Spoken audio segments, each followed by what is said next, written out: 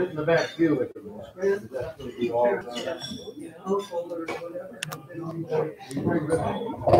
I, um, I got to read one. Well, when you're reading for the public, then I can. And I wonder what that was. I said, "Look," And he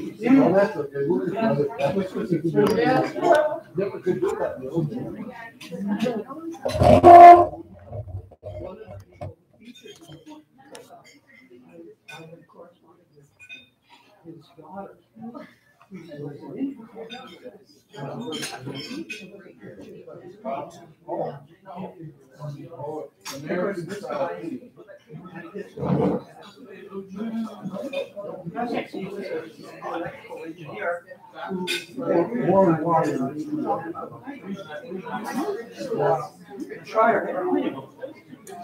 that is the connection. Schreier read these stories. didn't want to what this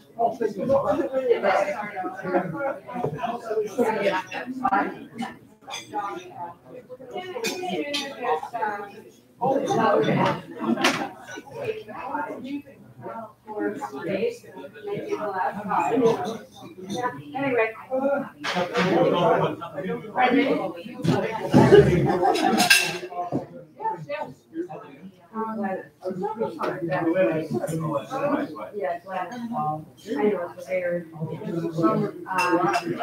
always do the page check because I once was giving a presentation where the printer had messed up and I didn't realize it. And I was missing about five pages in the middle of it. Always make sure they're all here.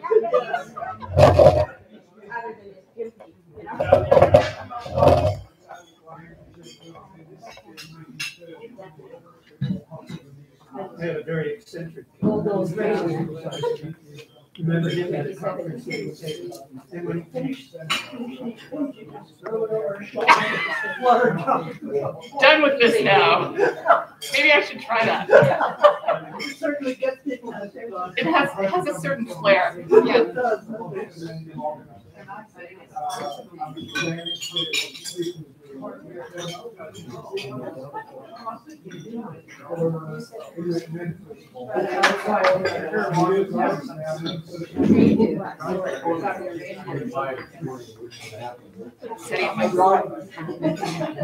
Oh, yeah.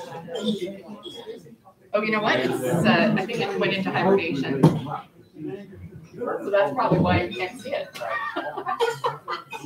Could be, yeah.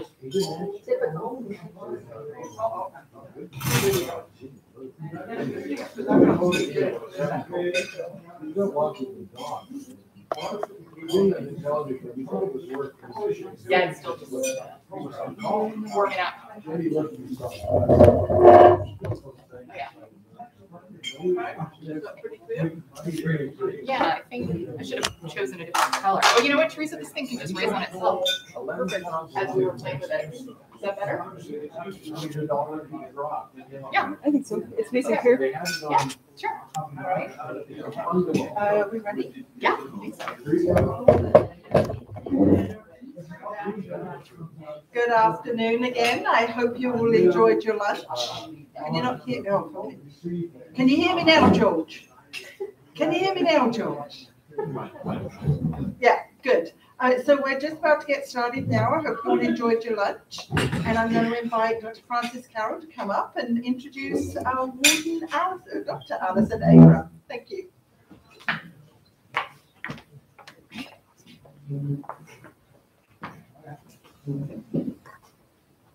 Well, it's my very great pleasure to introduce Allison to you uh, this, this afternoon.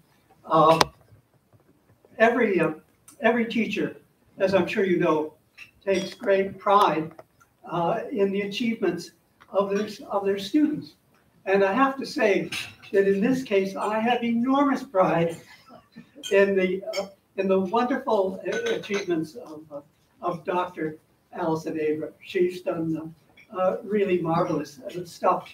But she was a student of mine uh, back in the, in the in the in the good old days, and and being a part pedant and part bureaucrat, I got out my grade book and looked at her uh, record uh, for me. And uh, although, of course, grades are confidential, uh, I can tell, I can assure you that she did exceedingly well for me.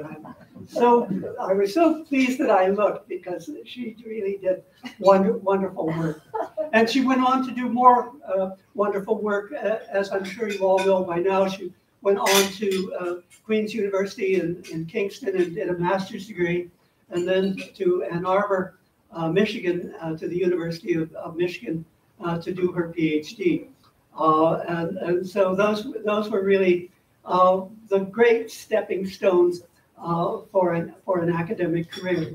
She came back here and joined us for a year as an adjunct professor, both at the college and in the history department, and so that was that was wonderful to see her again. But she was off quickly to uh, uh, the University of, of Southern Mississippi, and they have appreciated her uh, enormously as as well. And the within a, a, a few years of being there, the Mississippi Humanities Council uh, named her Teacher of the Year in Mississippi, which is which is really wonderful. And and at virtually the same time, her first book came out, Dancing in the English Style: Consumption, Americanization, and National Identity in Britain, eh, 1918 uh, to 1950, published by the University of Manchester Press uh, in, in, in 1917. Um, and this is a this is an interesting book, uh, which which really looks at the, the social history of, of this incredible period after the uh, after the First World War. But that wasn't the only accomplishment. Uh, an article that she published uh, in the 20th Century uh, British History Journal uh, won the postgraduate prize of, of 2008. So she's she was doing great things really right to, right from the start. The, the Mississippi Southern Mississippi University realized all of this and uh, uh, made her a fellow uh, of the Dale Center for the Study of War and Society. And uh, the, the following year, uh, she was given a distinguished chair the General Buford Blount uh, Professor of Military Studies, 1919 to 2019 uh, to 2021. Uh, And clearly, her interests had shifted to some of the social dimensions of the war as well. And uh, she's working on a manuscript um, which is tentatively titled Love and War, the emotional history of of British secret, secret agents during World War II. And I'm sure we're going to get a preview of that. We're going to get a hint of that in her lecture to us uh, today, British Secret Service agents in World War II. Let uh, me ask you to join me in, in welcoming uh, Allison with us.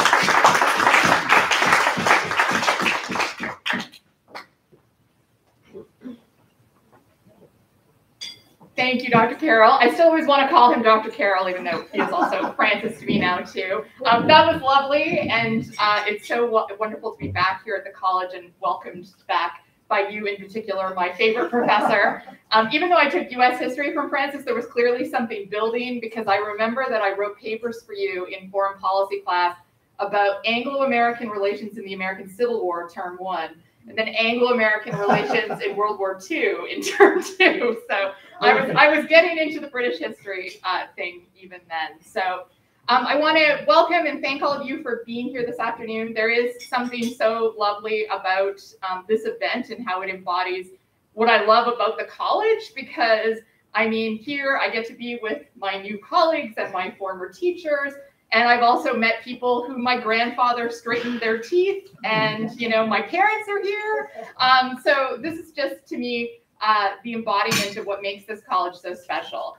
Um, and I get to share my research with you and prattle on a little bit about Lady Spies. So let me just, I'm starting my timer because really I can get, I can get going with this. So um, welcome to, to those of you joining us on Zoom. I meant to say that as well. So I'm gonna kind of just try to tilt this towards myself rather than holding it, but I'm also pretty loud. So we okay? Okay. Yeah. So, first slide. So some of you may maybe have seen this monument before. It's on the south bank of the River Thames in London, just across the water from the British Parliament building. And it is a small commemorative monument to the Special Operations Executive, or SOE. During World War II, the SOE was the branch of British intelligence that was charged with subversive warfare in the occupied territories. Hundreds of agents were sent into European countries controlled by Germany and Italy. And the SOE also had a presence in Asia as part of the war effort against the Japanese. They conducted sabotage operations, orchestrated assassinations of high ranking enemy leaders, arranged escape routes for Allied military personnel, and organized local resistance um, and militaries in order to better coordinate with broader Allied objectives. Now, among the SOE agents sent on missions into France during World War II were 39 women, including Violette Szabo, who you see there um, atop, her head is the bust atop the SOE monument. Oh, wrong way. For a variety of reasons, Violette Szabo has probably become SOE's most famous agent. She was the daughter of an English father and French mother who met in the First World War. And she was a young war widow when she was recruited to SOE. Her husband had been killed in the Battle of El Alamein with a baby daughter when she went off to France in 1944. Uh, yes. She was recruited at 42, got to France in 44. She did two missions to France, and on the second of these, um, that began just after D Day, she was captured at a German checkpoint, eventually sent to a concentration camp in Germany, and executed alongside two other female SOE agents in early 1945. Now, she was young, she was beautiful, she was at the center of a tragic wartime romance, she had a daughter.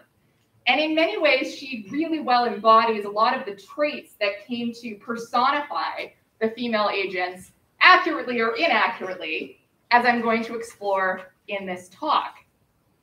I think it's significant that in the grand scope of SOE operations, Szabo and the other 38 women who were women agents were a relatively small contingent. But the decision to put Violette Szabo on top of the memorial to SOE, I think, attests to the big impact that they had.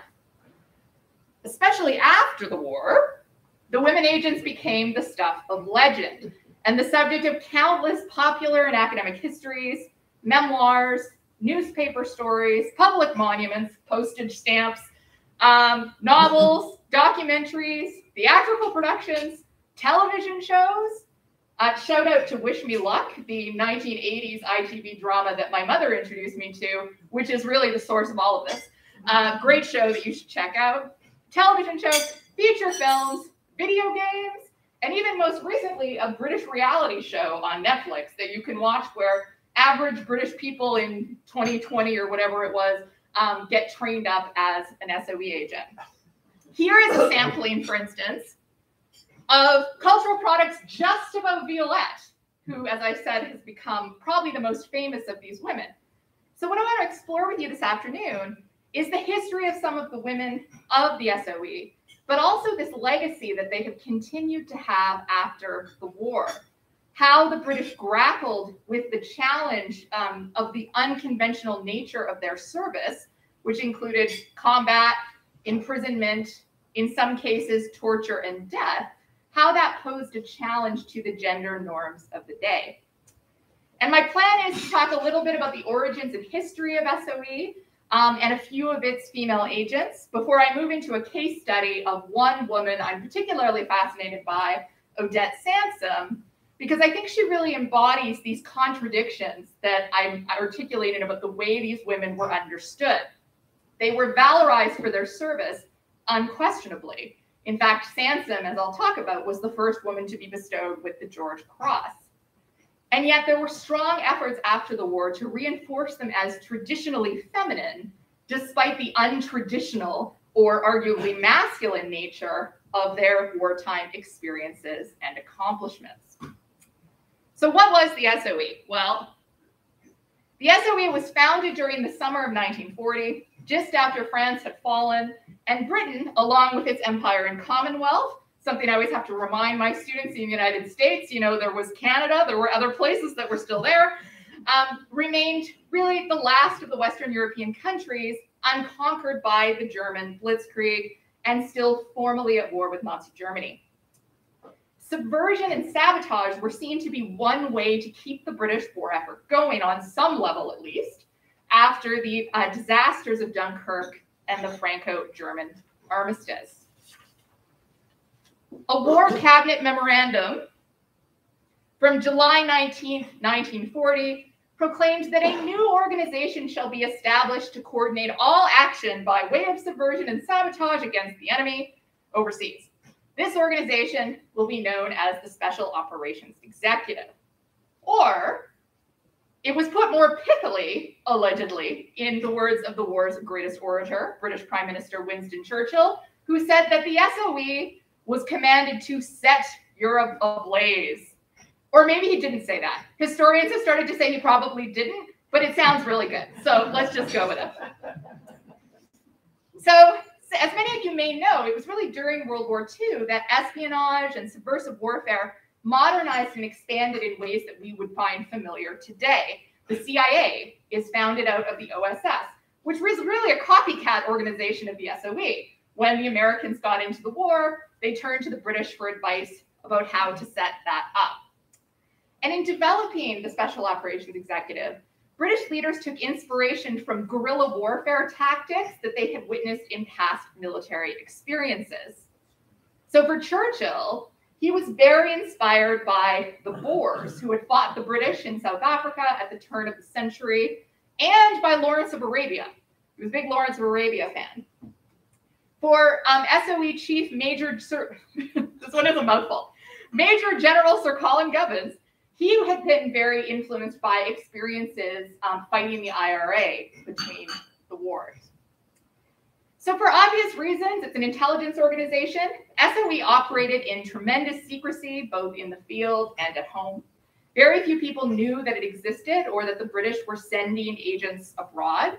It had a lot of nicknames for that reason, sometimes referred to as the Baker Street Irregulars in homage to Sherlock Holmes and the fact that SOE headquarters was at Baker Street in London. They also called it Churchill's Secret Army or the Ministry of Ungentlemanly Warfare.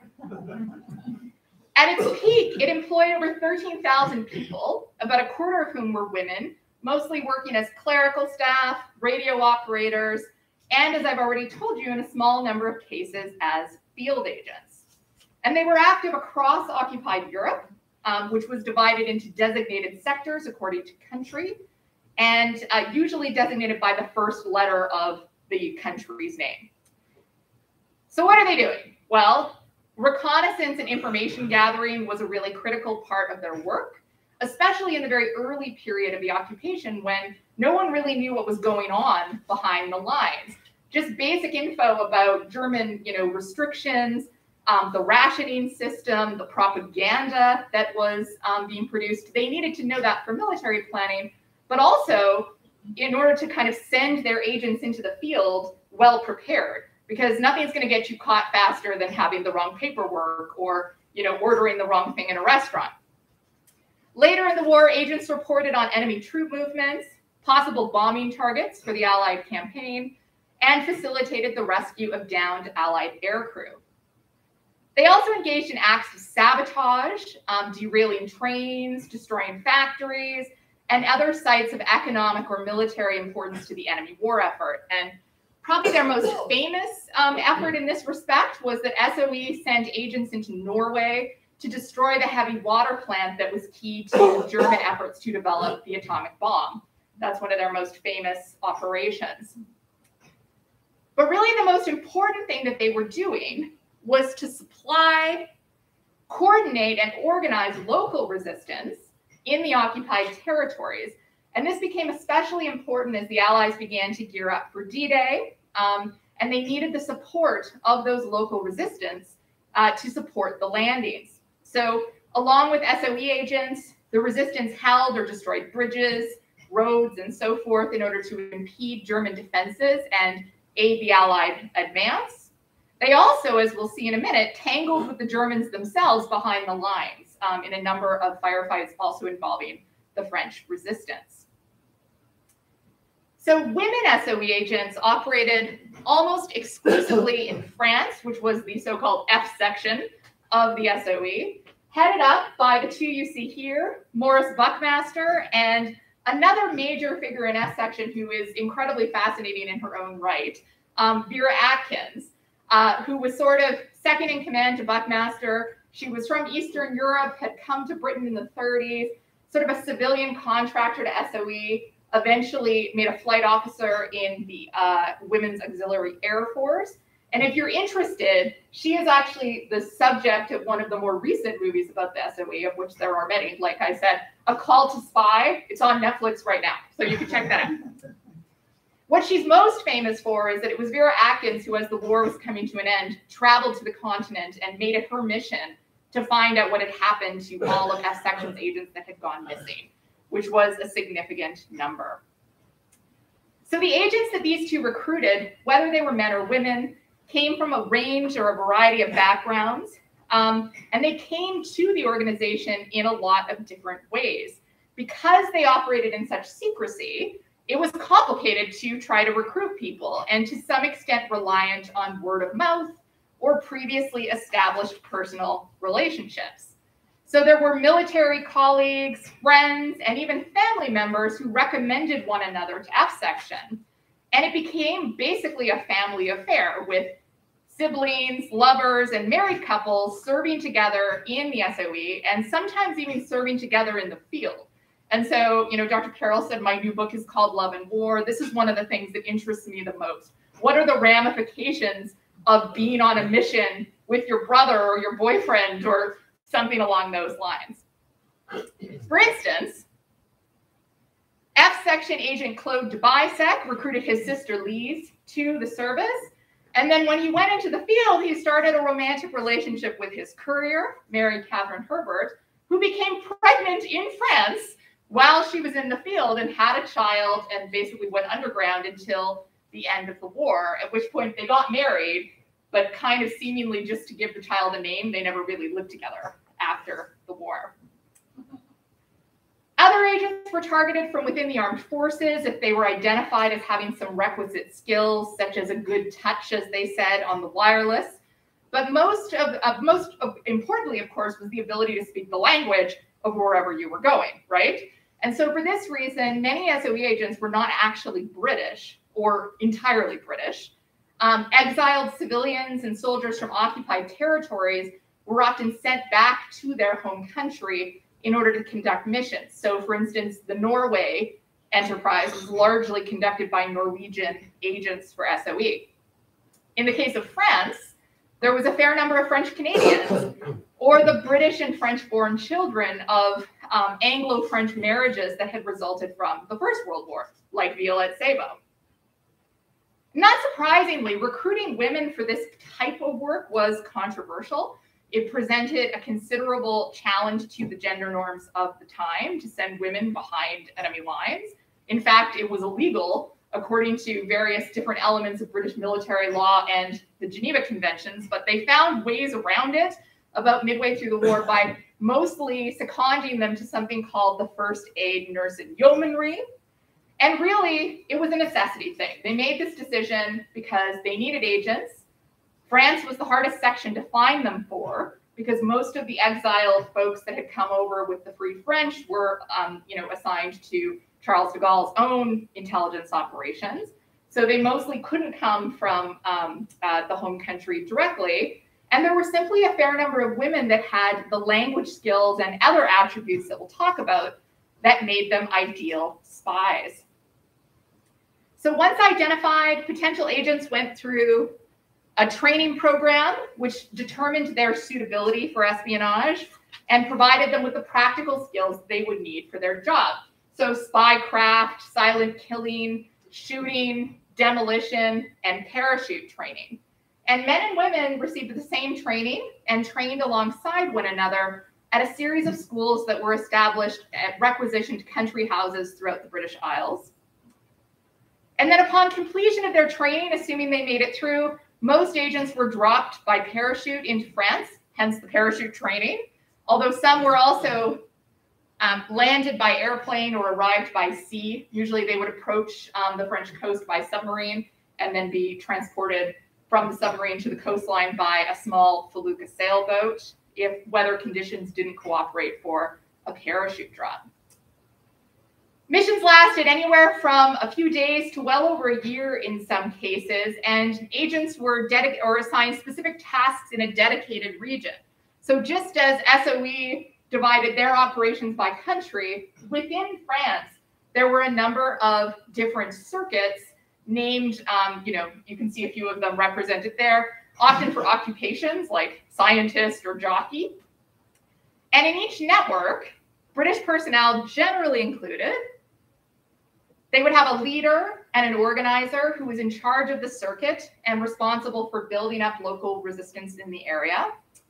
There would be a wireless operator who sent and received coded messages back and forth to London via a suitcase size radio case like the one you can see in the image there, um, and a courier who passed messages between circuit members, transported weapons and other supplies, and located drop zones for the British to send in more people and more material.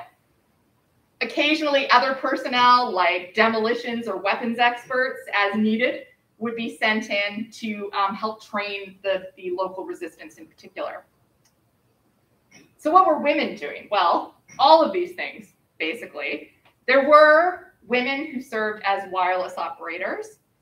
The first of them um, was a woman named Inayat Khan, who was the Paris raised daughter. She had a very eclectic background.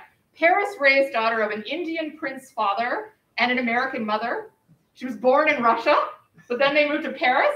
So she had lived all over the place and she was highly educated. She had gone to university at the Sorbonne between the wars and was a published author of children's stories and fairy tales.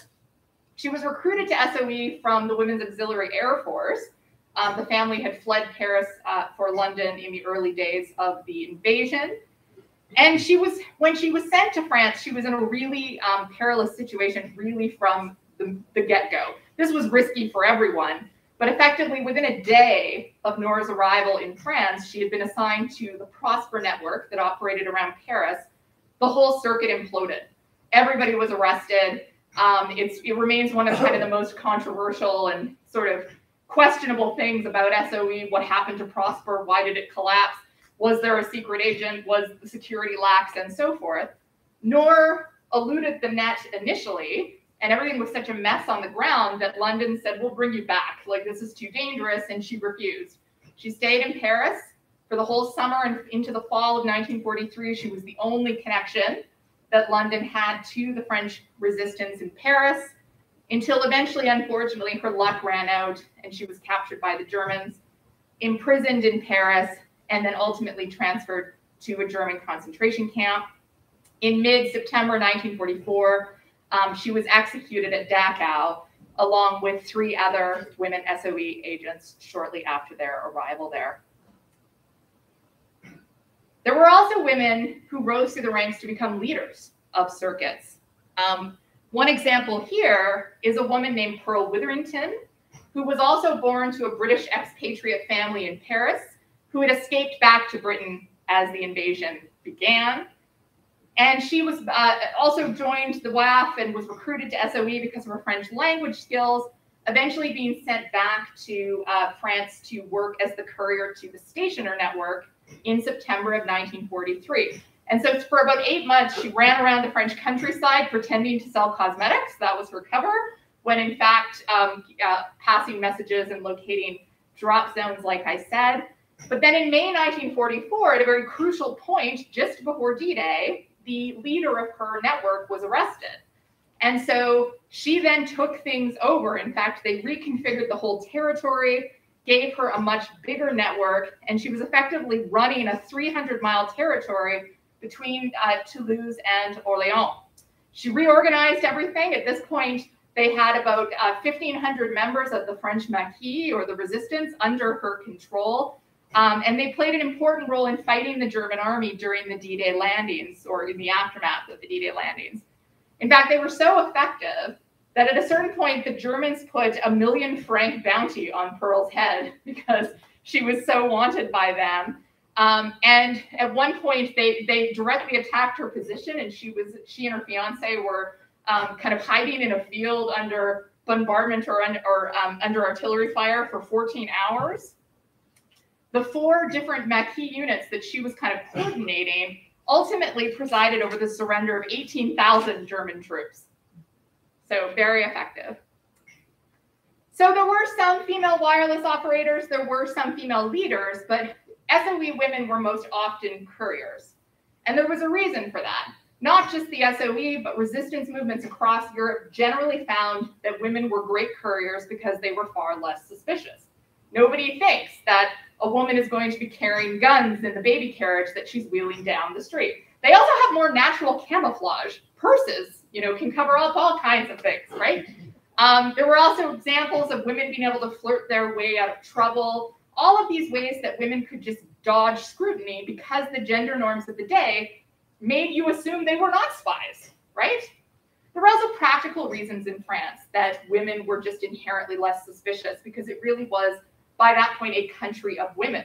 Um, there were 2 million almost French soldiers still as prisoners of war after the fall of France. From 1943, men of military service age effectively had to register for forced labor in Germany.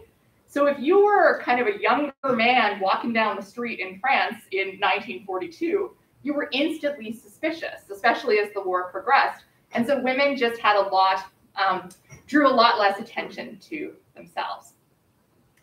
So even with the advantage of gender, um, this was risky work all around, however. In total, slightly under 500 SOE agents were sent to France over the course of the war, and about 25% of them died in the field.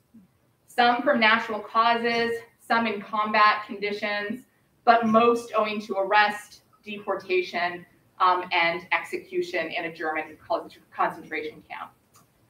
The dead included 15 women um, 12 were executed by the Germans, two died in the course of their imprisonment, and one um, got sick in the field and, and uh, died of natural causes. And I've mentioned already Noor Inayat Khan and Violette Szabo's deaths. They were both part of three mass executions of SOE women, where um, on one occasion at Ravensbrück, on one occasion at Dachau, uh, four, three or four women were killed together. The other example there occurred at um, Natzweiler Struthof in June of 1944. Um, and I actually had the opportunity to go to Natzweiler a couple, well, pre-pandemic, uh, 2018 with some students from Southern Miss.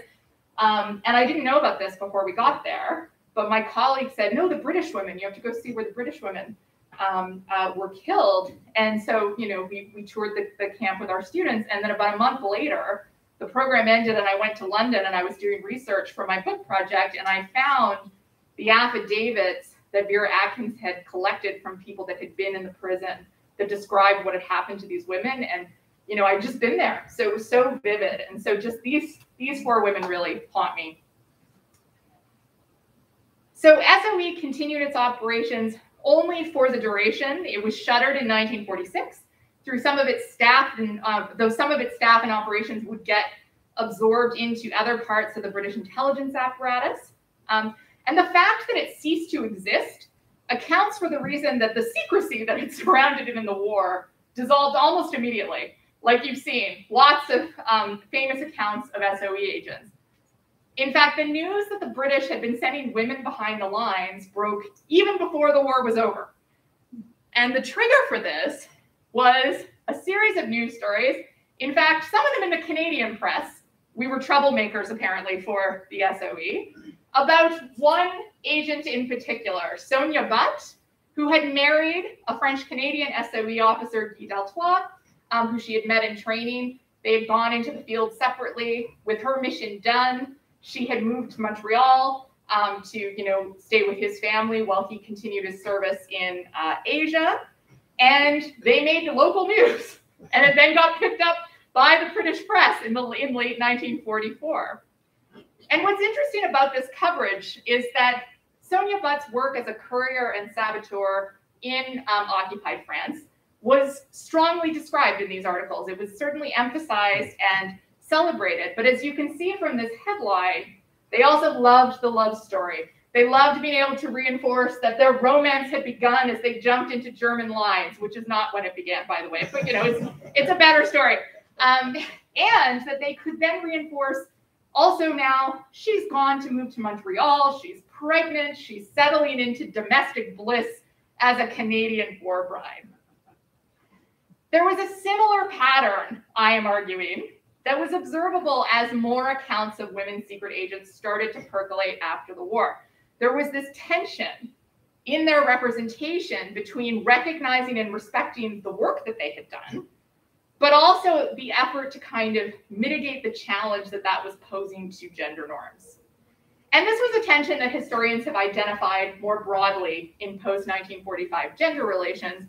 But with the women agents, who had, you know, received combat training and been in combat in some cases, um, who had been, you know, arrested, tortured, in some cases executed, it was even more crucial to kind of reinforce them as traditionally feminine. And so I think one of the ways that they did that was through an emphasis on their romantic relationships and the retreat into domestic bliss that this generally then would accompany. So, in news stories, memoirs, and biographies, feature films, all of those cultural products that started to emerge, the women agents' work in France was taken seriously and honored in many respects. But it was also often treated as a temporary interlude for the sake of the war effort and sharply contrasted with their more traditional post war lives. And one great example here was a newspaper article, January 1947 about Agent Marguerite Peggy Knight entitled Mrs. Smith, Train Wrecker, Spy, and Nazi Killer. The piece opens by saying, You would not suspect that the prim little woman who comes out of the newly built house, wheeling her 16 month and four month old babies in a second-hand pram, with a shopping bag on the handrail, once blazed away with a Sten gun at Germans hunting her down as a secret agent in France.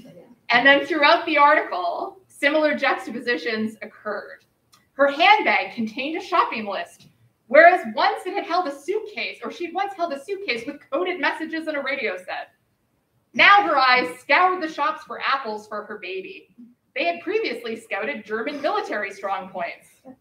While during the war, she had been part of a sabotage mission to blow up a German troop train. Now, the most, quote, the most exciting thing in her life is to watch her children grow up. And so it was this back and forth. And then you can see this is a photograph that accompanied it that I love. It's it's Peggy, you know, playing on the floor her new great 1940s house that she's purchased with her Royal Navy um, husband, Croix de Guerre, MBE, um, mother. Yeah. So you see this kind of back and forth between they're not hiding what these women did, but they're trying to balance it out by the more traditional life that they led after the war. And to kind of really reinforce that, that contradiction, I want to conclude by telling you about one particular agent. Just going to check my time here. Okay, yes. So, like I said, Odette Sansom, one of my favorites of the women agents, was born Odette Brailly in Amiens, France, the daughter of a bank manager who was killed at Verdun in the First World War. She met an Englishman, Roy Sansom, um, and married him in 1931, moving with him to Britain, where they had three daughters, Francoise, Lily, and Marianne. At the start of World War II, Roy joined the army, and Odette moved with the children to Somerset to escape from the bombing in London. And she came to the attention of SOE in a very roundabout way. In the spring of 1942, the British Admiralty sent out a plea in the newspapers and on the radio for any kind of holiday snaps or family photos that people had of the French countryside or the French coastline in particular um, that would help with military planning. And so Odette had a lot of pictures, so she sent them in, but she sent them to the War Office instead of the Admiralty by mistake, which brought her to the attention of SOE. And so they approached her about becoming an agent. And she initially, as you would probably guess, was like, Are you kidding? I've got three children. This is nuts. Um, but eventually she did decide to serve out of sense of duty to both of her countries, right? Particularly, she did an interview with the Imperial War Museum after the war where she talked about how once she started the training, which she assumed she was going to flunk out of anyway and the whole thing would be resolved, she was she had access to information that your average British person did not about what was actually happening in France. And then she felt very compelled to go back and help out the family that was still there. She still had a brother, her mother, all of these folks still in France.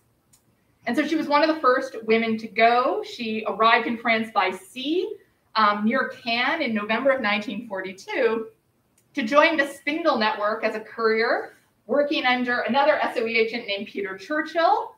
Note the name.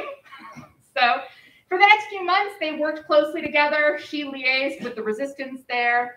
Um, they, she organized weapons drops. Churchill went back to London for a few weeks to be debriefed, and she ran the circuit in his absence. They also seem to have fallen in love during this period and um, entered into a romantic relationship of some sort. And were staying in the same hotel as kind of their headquarters. I know it sounds questionable, and people pointed this out later, but yes, they were in the same hotel when they were arrested in April of 1943. Um, just like Noor Inayat Khan and Violette Szabo, Odette was sent to Fresnes prison in Paris. Um, but as they were captured, she and Churchill, mostly she, this was her grand strategy, were able to convince the Germans that he was some relation of Winston Churchill, which he was not, and that she was his wife, because frequently their cover story in the field had been as man and wife. And so, for that reason, seemingly, um, despite the fact they both were in German custody for over a year, they were never executed. In fact, Odette was one of the only women SOE agents who actually was sentenced to death, but was never actually executed. And Peter ended up having sort of a privileged status with the Germans. In fact, early on, it's hard to tell how, how high up this went, but there was some talk maybe we can trade him. You know, he's he's Churchill's nephew or something um, for Rudolf Hess. That was a plan that people had cooked up, and so so they were not executed. Although Odette did endure very brutal torture by the Germans um, and solitary confinement at Ravensbrück concentration camp for over a year. She was not, in fact, put to work there like most women would be because of this privileged status, but you know, basically sat in the dark for long periods of time. At one point, they denied her food for a week because um, of the Allied landing in the south of France. This was apparently her fault, according to the commandant of Ravensbrück. And yet, like I said, she was never executed. In fact, when the Allies were only a few miles away from Ravensbrück, the camp commandant came to Odette's cell one night, picked her up, put her in a car, and drove with her to American lines, where he kind of turned up and said, um, "You know, I, this is Frau Churchill. She has been a she has been a prisoner." And apparently, Odette said to the Americans, "This is the commandant of Ravensbrück. Please make him a prisoner." Um, she made him give her his gun, which is a nice little touch. Um, and Churchill, meanwhile, had also survived the war because of this more kind of exalted status. Um, and they were reunited in London in May of 1945. She divorced her husband and they got married in 1947. Although they too divorced a decade later, and she ended up remarrying a third time to another SOE agent she had not served with, um, who she was with until her death in 1995. So that's kind of her history. How she came to public attention was that in 1946, as I said at the beginning, she was awarded the George Cross, which was Britain's highest award for bravery. There are complicated distinctions, but effectively the George Cross was the so, all, civilian's not quite right, but that's how it gets phrased, the civilian equivalent to the Victoria Cross. So this was a big deal for a woman to be given this. And that same year, she testified at the war crimes trials dedicated to the Ravensbrück camp and was um, crucial to the conviction of the commandant there. These events got a lot of press coverage, but so did her wedding to Churchill. Um, by 1949, a biography of her experience was written and it was turned into a feature film. You can see the poster there. And so, what I think is really important about these um, different ways that she summoned public attention is that in all of these narratives, she was definitely a war hero, but she was also a romantic heroine. When she was awarded her George Cross, At the same ceremony of Buckingham Palace, uh, where Churchill got a Distinguished Service Order, the news coverage, as you can see, was as much about the revelation of their engagement as it was their service in F section. There were newspaper headlines that talked about, I mean, this is an official honor ceremony with the king, right? And they're like, Secret Service romance. um, in addition, because her George Cross was awarded largely for her refusal to speak under torture, which protected other members of her group, including Churchill, they could kind of narratively fuse those two things together and say, you know, to wed the officer she saved. Um, in subsequent news items over the next little while, because she was she became very famous, fashion columns, they would go out on the town and it would get attention.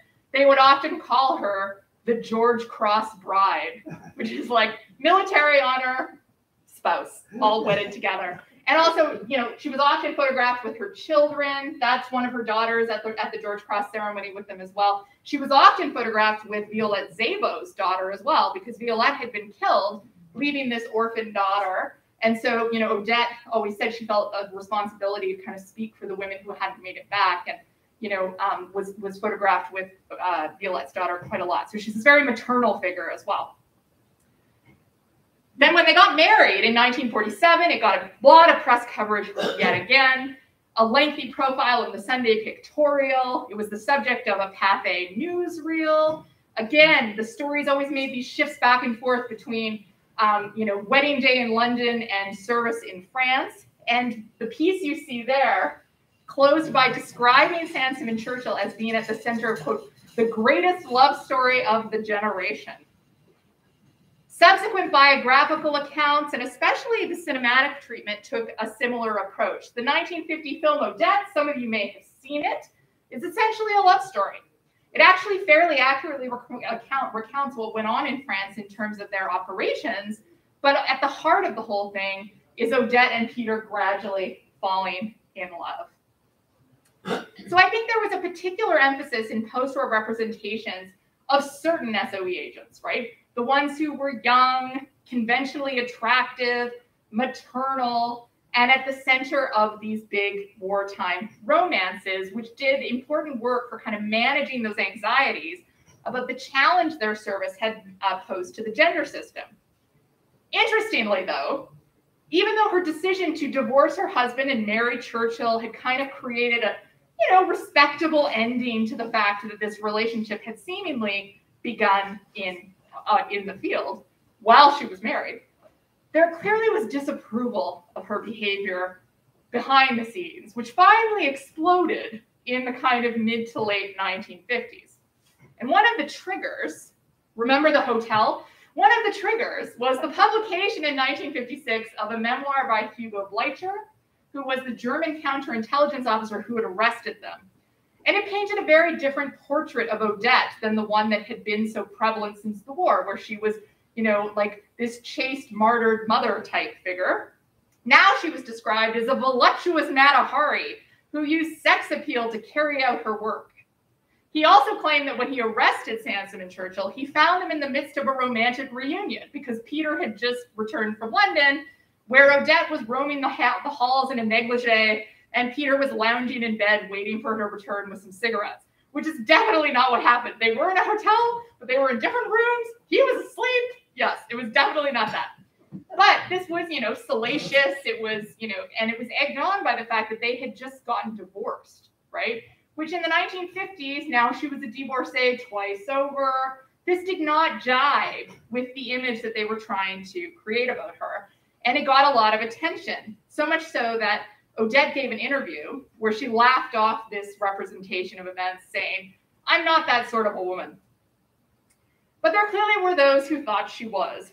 Most notably, conservative MP Dame Irene Ward began what would become a years long campaign to strip Odette Sansom of her George Cross, writing in a 1959 letter to Prime Minister Harold Macmillan what really concerns me is that it should have been considered to appropriate to, uh, oh, pardon me, to recommend to the monarch that the first woman to be given the George Cross should have an undoubted black mark against her name.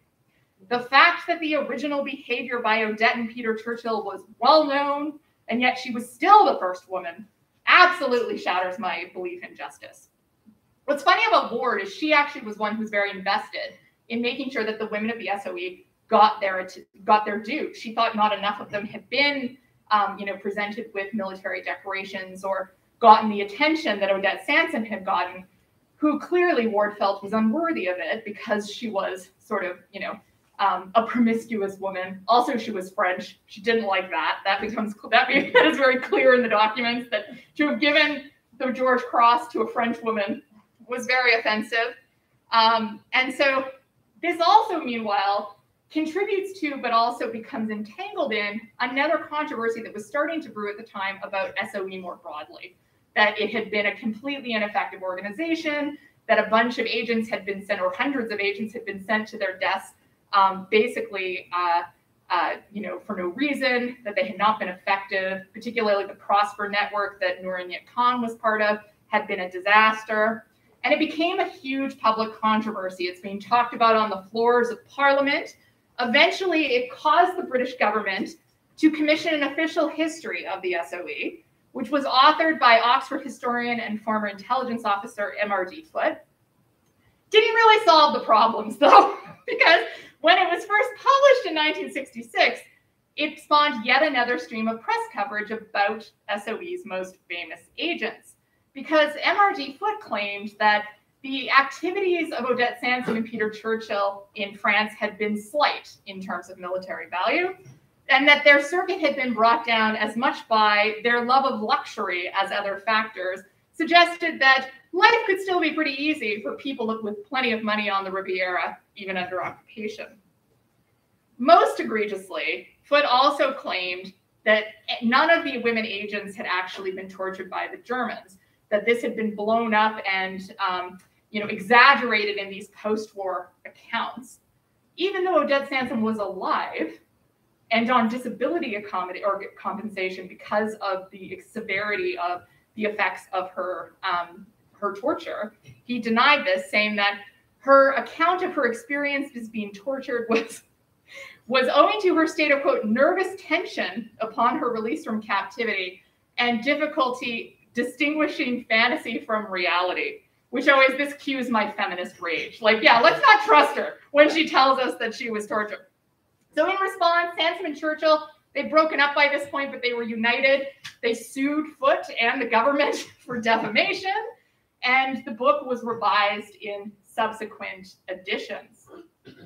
Why I think this is important, though, is that the, the kind of debate or the controversy about MRD Foote's book Irene Ward's open challenge to Sansom, Sansom's heroism, basically because of her sexual history, is really illustrative about how the representation of these women, whether it was to kind of celebrate them or to condemn them, was always being influenced by ideas about appropriate or traditional feminine behavior, whether it was how you were supposed to behave in a romantic relationship or how you would respond to imprisonment and torture. So to conclude, I think you can see in the history of the women of the SOE a really important window, not only into kind of wartime gender relations, but post-war gender relations. In an era of Rosie the Riveter and expanding roles for women in all kinds of respects during the war, these women really embodied the apex of wartime service. But they also show us the strong efforts to contain the social transformation that was possible owing to that service and the strong reassertion of traditional domestic roles for women after the war.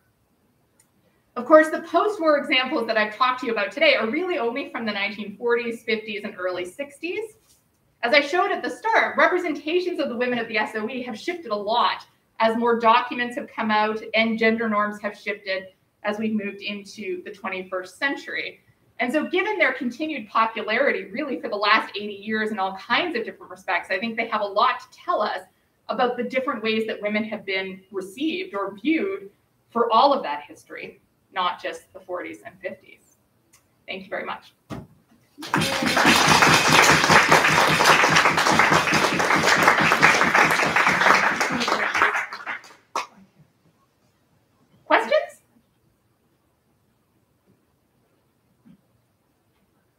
Nobody has any questions? I don't believe it. There we go. First of all, I'd like to say this has been a wonderful, wonderful discussion. Thank you. I think one of the greatest we've ever had, and we've had some very fine ones. Well, thank This is you. Just wonderful. Um, And it, it demonstrates your, your thesis of, very clearly of what it was like to be a woman in the war effort, in the Second World War. You know, a lot of us were growing up at that time, because we're kind of old. And and I, I can still feel in myself the kind of gender relationships that you're talking about. And because I'm kind of stubborn, they haven't really changed as much as they probably should have. And I'm just wondering, what's your take? And if there were a world war now, how would women be treated? Yeah, it's, it's a very good question. And, um, you know, having been in the US for the last 10 years, well, you've probably seen there, there's been a lot of debate about combat roles for women in the US military, and, and everything has now been opened up on an equal level. The big debate about that for a long time was the draft, right? Because the US still has a draft. If if women um, if there if if women could do yes, if we, if women were are now eligible for all different kinds of service roles, should they not also be eligible for the draft? Which a lot of feminists say yes. I mean, I, I don't know if I have a clear answer to it, other than I think that, like anything, it's been a slow process where they clearly are in a more equal position vis-a-vis the military now, or any other roles that might emerge in a world war. Um, and that comes with you know pros and cons, right? Because I mean, you know, I think the equality piece is incredibly important, but a lot of people have a lot of discomfort with the idea of women being drafted into military service, right? And a lot of women probably don't want to be drafted into military service, just as many men did not want to be drafted into military service in previous eras. But but that I think we have come a pretty long way in that respect, and yet there are these lingering holdovers as well. It's not a very effective answer to think about this a little bit more, but I think the legacies are still there. Um, and and the remnants are there and yet the way we look at these documents i mean just the fact that i can look at what he was an he was an academic historian what he wrote in the 60s just like sets my blood boiling now i mean you know just we, we certainly do not have an acceptance of the same um, sorts of of views of, of women's capabilities and yet i don't think we've broken down those walls altogether yeah i don't know if that is a good answer yeah thank you it's a great question though Yeah. Well, I just wanted to mention that we have a granddaughter in fourth year at Royal Military College, nice and she is in intelligence. oh really So I'm wondering what that will entail, and Yeah. Almost like we've never been told. Yes. well, good for her. Yeah. And I mean, intelligence, like everything, has shifted. And one thing, getting into this project has been interesting because one thing that I've learned over and over is is just the the shifting perception of espionage and intelligence and these debates about how effective the SOE was had circulate around intelligence kind of throughout history. Like, is espionage effective? And yet we're all fascinated by it, right? I mean, it's this this really interesting question. And one one thing I kind of changed up how I refer to these women. I always called them my lady spies, but I've recently started to refer to them more as secret agents because some people get upset if you call them spies because they actually were combatants, right? They most of them had a military association. Like spy seems to imply this kind of nefariousness that people get upset about. Um, I don't know how I feel about that actually, but but it feels like in this part of or this sector of academic history, language matters. And so this is something I've learned going through this project, and that they are more accurately referred to as secret agents, which apparently has a semantic distinction from spies. So yeah, yeah.